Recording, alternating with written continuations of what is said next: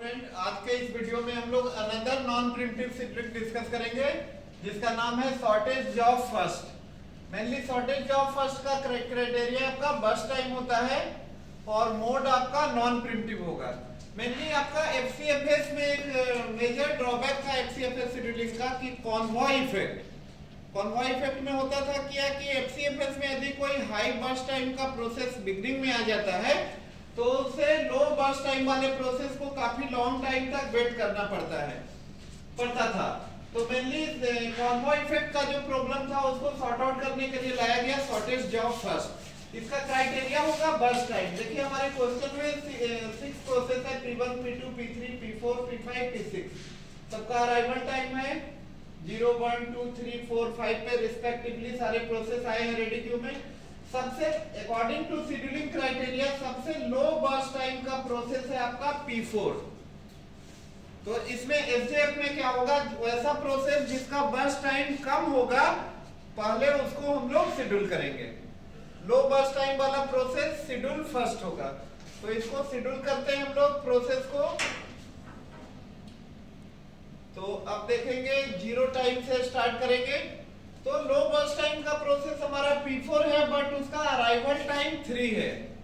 और आप लोग को बताए हैं सीपीयू शेड्यूलिंग क्राइटेरिया में मैक्सिमम यूटिलाइजेशन ऑफ़ सीपीयू यदि हम हम लोग चाहेंगे कि P4 को पहले शेड्यूल करें तो ज़ीरो से थ्री यूनिट टाइम तक सीपीयू को आइडल रखना होगा, जो कहीं से आपका बेहतर नहीं है। सीपीयू जितना ज़्यादा बिज़ी होगा, उतना ही ज़्यादा थ्रूपुट आपका इंक्रीज करेगा। तो हम लोग सीपीयू को आइडल नहीं रख करके, पहले ज़ीरो टाइम पे जो प्रोसेस आया है, उसको शेड्यूल कर देंगे।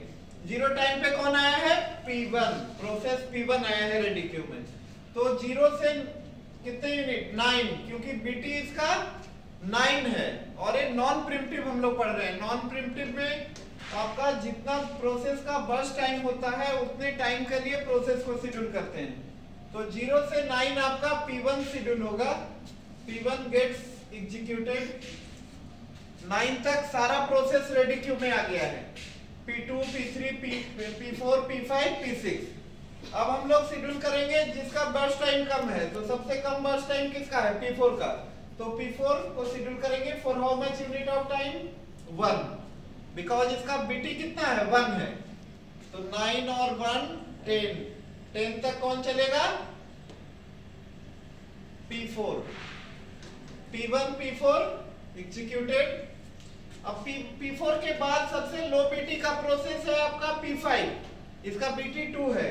तो दो यूनिट के लिए चलेगा P5 10 to 12 P5 P5 gets executed अब इसके बाद सबसे लो बर्स्ट टाइम का प्रोसेस है आपका P2 तीन है इसका चार है और फाइव है। थ्री फोर फाइव तो सबसे लो बीटी का प्रोसेस है P2 12 और 3 15 P2 P2 gets executed अब है आपका प्रोसेस P3 एंड P6 तो P3 का BT 4 है P6 का 5 है। तो लो BT लो BT का प्रोसेस P3 होगा।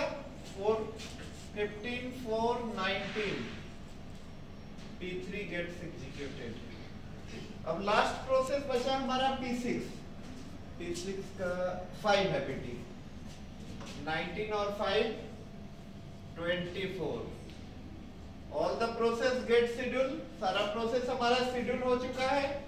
कंप्लीशन टाइम निकाल लेंगे। Completion time of P1 is 9 completion time of P2 P2 15 completion time of P3 is P3 19 completion time of P4 P4 P4 10 10 पे complete हो रहा है.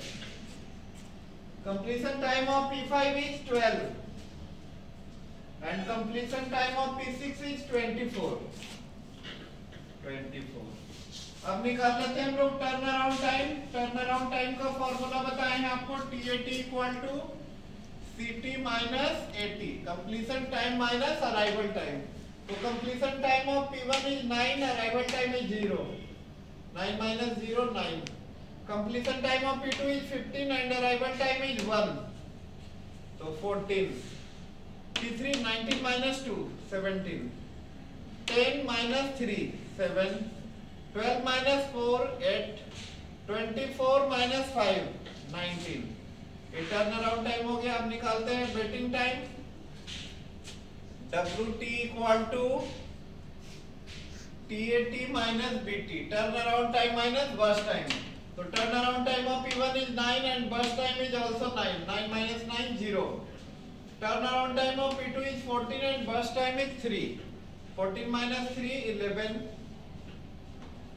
turnaround time of P3 is 17 and arrival burst time is 4 13 turnaround time of P4 is 7 and burst time is 1 7 minus 1 6 8 minus 2 also 6 19 minus 5 14 तो ये सब, ये आपका था शॉर्टेस्ट जॉब फ़र्स्ट इसका मोड आपका नॉन प्रिमिटिव होगा और क्राइटेरिया आपका बस टाइम होगा. Thank you